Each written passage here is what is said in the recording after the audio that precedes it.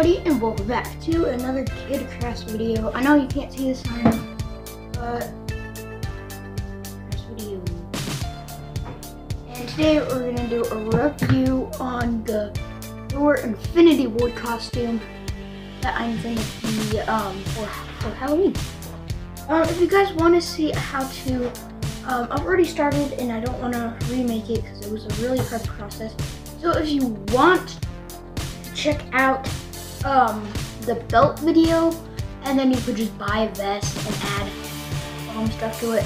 I'll show you how to do that next year. I think I'm gonna be the same Thor, but if they update the costume or something, who knows. Um, but let's get into the review.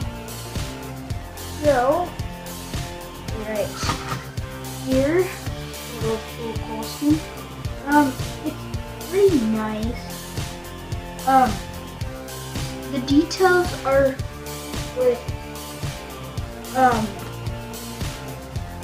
are with electric tape, and then this is like. So the details are with foam, and then a vest. But bottom. I had a lot of trials and errors with this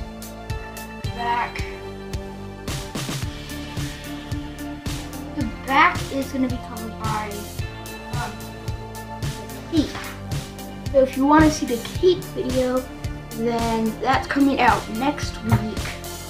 So I'm going to get some. Uh, oh. But we also have the wrist guards for this costume. Is it one of this? And Stormbreaker! It barely even fits in the frame. Oh, this thing's. So, the blade, so this is just made out of cardboard box, and then some cardboard with some uh, paper in it, and then I put brown handle, it was like plastic. Um, but this is also, um, in the hammer, probably the least strongest part. It should be, I think, the axes, but hope you guys enjoyed this review. Um, if you guys want to see how I made Stormbreaker, I'll give more details on that next time. And this is just a part one, just a review of the costume.